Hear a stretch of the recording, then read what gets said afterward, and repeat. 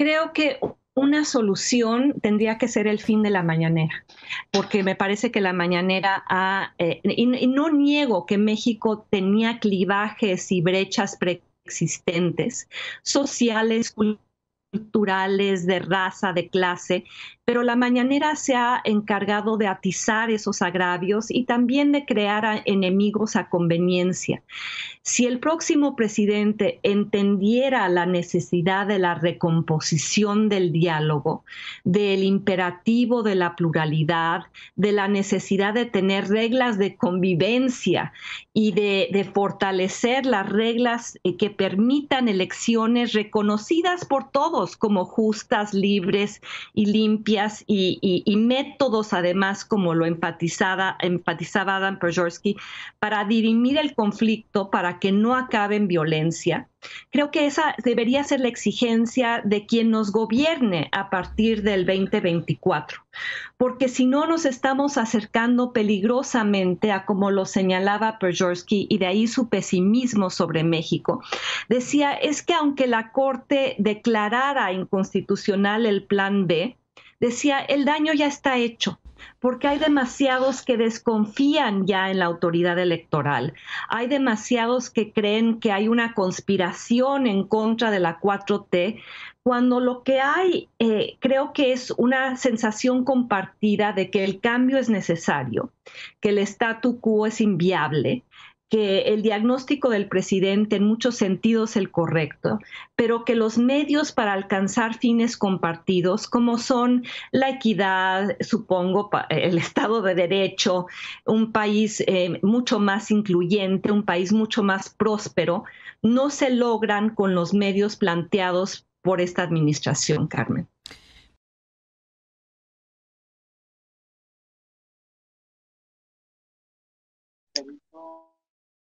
Pues ahí está, mi querido Rodrigo. Espero que nos escuches bien, ¿no? ¿Qué te parece esto que opina la señora Dresser de mejor cancelar las mañaneras para que nos volvamos todos a, a, a unir, ¿no? Porque lo que es el presidente es polarizar, dividir.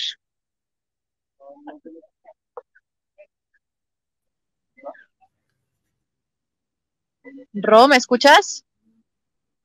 Creo que ahí tenemos a nuestro Ro que está fallando. pues la verdad. Ahí está.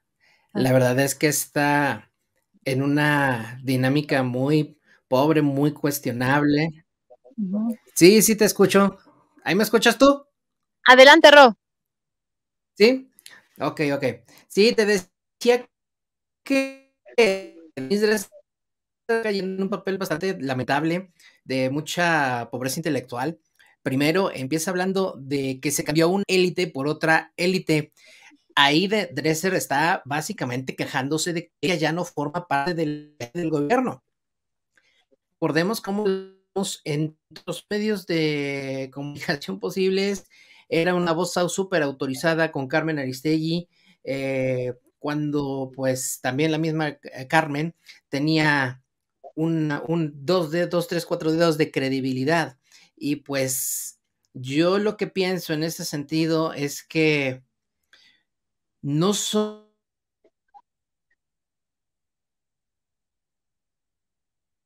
Ya no escucho a mi querido Rodrigo. A ver, este Adri, si mejor eh, le podemos marcar, porque ahora sí ya sí está fallando bastante su señal.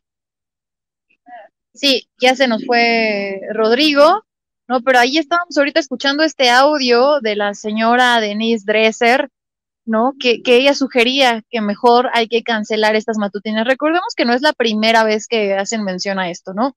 Ya diferentes eh, periodistas, comentaristas, opositores en general, han dicho que, que deberían de cancelar las conferencias matutinas. Hoy el presidente dice, claro que no, va a haber y va a seguir habiendo conferencias matutinas porque es nuestro deber informar al pueblo y porque también es un ejercicio de réplica. Imagínense, dice el presidente en la mañana, imagínense que no hubiera conferencias matutinas. A ver, Ro. A ver. A ver, como que ahí estoy, ahí estoy mejor. Ahí creo que ya. Ahí ya te escucho mejor. Bueno, ya, ya me cambié, me cambié. Te digo que estoy probando locaciones porque gatitos, ya sabes. A ver, creo que ahí es, creo que mucho mejor ahí. Sí, ok. Entonces te decía que eh, Denise Dresser en esta entrevista empieza diciendo que ella eh, nota que se ha cambiado una élite por otra. Entonces ahí básicamente se está quejando de que antes ella formaba parte de esa élite y ya no la toman en cuenta. Veíamos que ella era una, una voz muy autorizada, en el caso de Carmen Aristegui, la propia Carmen también lo era, ahí estaban también Sergio, Sergio Aguayo, el doctor Lorenzo Meyer, y ahora hemos visto que ha dado un giro de timón de 180 grados. Para nadie es un secreto que ahora se dedican a golpetear al presidente. Ahora, muchos se les ha criticado y, ellos y ellas responden que mm, ellas ahí estuvieron criticando a Peña Nieto, criticaban a Calderón y si es cierto, yo no les voy a chiquitear eso. Pero lo que sí les voy a les voy a poner en evidencia por mucho que sea doctora ella y pues, o según bueno, según ella, por mucho que ella eh, que Carmen pues sea, haya sido una voz autorizada, pues ahorita están como quien dice, ¿no? Le están regando fuera de la basinica. Porque tú en el sexenio de Calderón o en el sexenio de Peñinito, tú levantabas una piedra y encontrabas un escándalo de corrupción, encontrabas un caso de desvío de recursos, encontrabas un caso de nepotismo, encontrabas un caso de desaparición forzada, encontrabas un caso de violencia. O sea, era imposible no criticar a los gobiernos de Calderón y de Peña Nieto y no en menor medida el sexenio de Fox, porque los actos de corrupción se cometían sistemáticamente a plena luz del día y a la vista de todos. No se podía esconder. Ahí tenemos, por ejemplo, la, eh, magistral investigación de la Casa Blanca de Peña Nieto que le cuesta el trabajo, ¿no? Prácticamente a Carmen y al equipo de investigaciones especiales. Dicha de paso, uno de estas personas que participó en la elaboración de la investigación de la Casa Blanca de Peña Nieto y de la que se hizo también un libro, pues es uno de los sensores eh, que trabajan para eh, Animal Político, de los sensores de Facebook, y ellos deciden qué es lo que aparece en la plataforma y qué es lo que no aparece en la plataforma. Son los verificadores. Y viene la pregunta, ¿quién verifica al verificador? Ahora, Rob, Perdón. A, diferencia de estos dos sexenios de Calderón y de Peña, donde levantabas una piedra y encontrabas un caso de corrupción, en el caso del sexenio de Andrés Manuel, no hay casos de corrupción como si los hubo en el sexenio de Peña. Por ahí están diciendo Segalmex, pero Segalmex está investigando en este sexenio. estuvo el caso Tlahuelilpan, ¿no? Ese ducto de, de Pemex de gasolina que terminó estallando y matando a muchas personas, se investigó en esta administración. Está también el caso ahorita de los 39 migrantes en la estación migratoria de Ciudad Juárez, Chihuahua. Se está investigando en esta administración. Tú volteas a ver, por ejemplo, Casino Royal en Sexenio de Calderón, no se, investigó a medias. Guardería BC se investigó a medias. Con Peña Ayotzinapa se investigó, se, eh, investigó a medias. Este, por ahí, eh, Odebrecht, igual en el sexenio de Calderón, eh, perdón, de Peña Nieto, no se investigó. Esta administración también tiene casos de corrupción, sí, pero la gigantesca diferencia es que cuando se encuentran un caso, lo exhiben públicamente, lo señalan y en cada semana, eh, tú has sido testigo, eh, tú vas a las mañaneras y tú ves cómo existe una, una, sección de cero impunidad y ahí se exhiben este tipo, de, este tipo de casos que han ocurrido, muy lamentables, que no deberían de haber sucedido, pero pasaron, pero que se están investigando en esta administración, cosa que no podemos decir de las administraciones del PAN o del PRI donde eh, se daban casos de corrupción, delitos flagrantes, contantes y sonantes, y no se investigaban sino hasta muchos años después. Y ahí tenemos los casos, por ejemplo, la guardería BC, que hasta ahorita todavía no se tiene a ciencia cierta claro qué, sucedió ahí, o Ayotzinapa está en la misma situación. Claro. Oye, Ro, además me gustaría que habláramos rápidamente sobre esta petición de los opositores, porque no es nueva, ¿no? De quitar las conferencias matutinas, porque obviamente les ha tocado donde más les duele, porque ahora ya no se queda callado eh, el presidente López Obrador y ejerce su derecho de réplica ante tanta fake news, ante tanta desinformación. Y no es que nada más hablemos porque sí, por defender este gobierno, pero hemos comprobado, Ro, que medios como el Reforma han publicado noticias falsas y nunca salen a retractarse. Son exhibidos también en esta sección de quienes tienen las mentiras. No solamente Denise Dresser, que creo que es clienta ya de esta sección, sino también otros comentaristas, otros periodistas, y que nunca, y que nunca lo van a salir a, a, pedir perdón, a, a decir lo siento, me equivoqué con la audiencia, porque no les importa desinformar, no les importa hablar puras noticias falsas, ¿no? Entonces, eh, esto que ahora el presidente hace, que ha sido histórico, que ya va para cinco años de conferencias matutinas, no sé en qué mañanera vayamos, pero que es un ejercicio donde el presidente, además de informar, por ejemplo, hoy se aventaron un amplio informe de lo que va a ser el tren Maya, así con lujo de detalle en qué va a consistir el tren Maya, por dónde va a pasar, hasta la comida que van a servir en el tren Maya.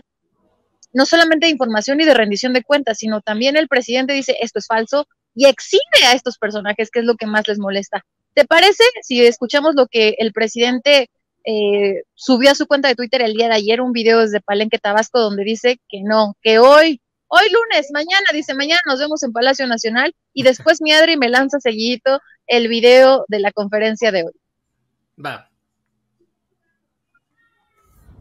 Ya vamos de regreso a la Ciudad de México, estuvimos en Palenque el fin de semana, ya nos estamos despidiendo de las ceibas, de la guanábana, del mamey, del palo de tinte, de los pájaros, de los araguatos, de las guacamayas.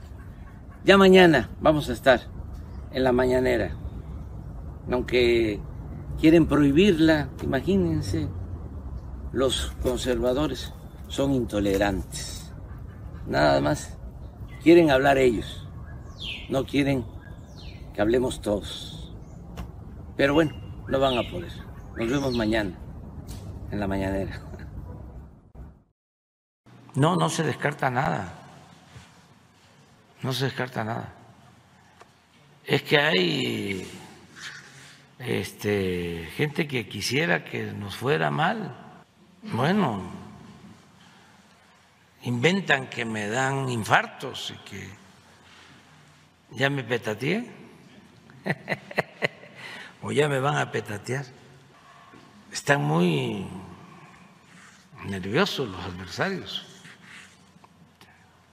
no ven también que ya quieren que no haya mañaneras. Es un nivel de intolerancia que muestra con claridad su autoritarismo de los conservadores y sus voceros. Nada más quieren hablar ellos. Imagínense que nos quedáramos solo esperando las noticias de la televisión, de la radio, los comentaristas de radio, de televisión, los columnistas de los periódicos. Entonces llena de desesperación, como no les funcionan sus eh, estrategias muy perversas, por cierto, inmorales, pues ahora se van por lo más directo y descarado, ¿no? Que desaparezca la mañanera. Eso sí, hablan de democracia, de libertades, de pluralidad de tolerancia.